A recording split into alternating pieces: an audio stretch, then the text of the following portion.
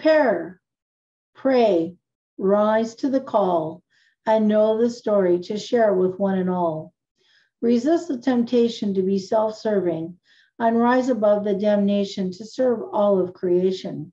Do not put the Lord your God to the test, but rather seek shelter and rest so that you may be your best.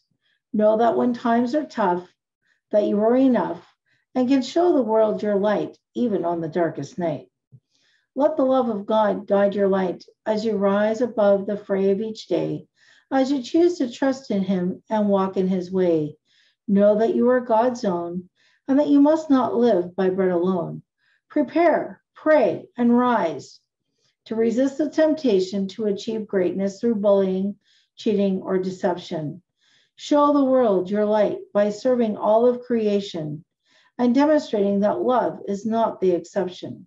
But through the love of Jesus, we can face the worldly temptations of daily life as we prepare, pray, and rise above the strife so that we can all say, Satan, not today.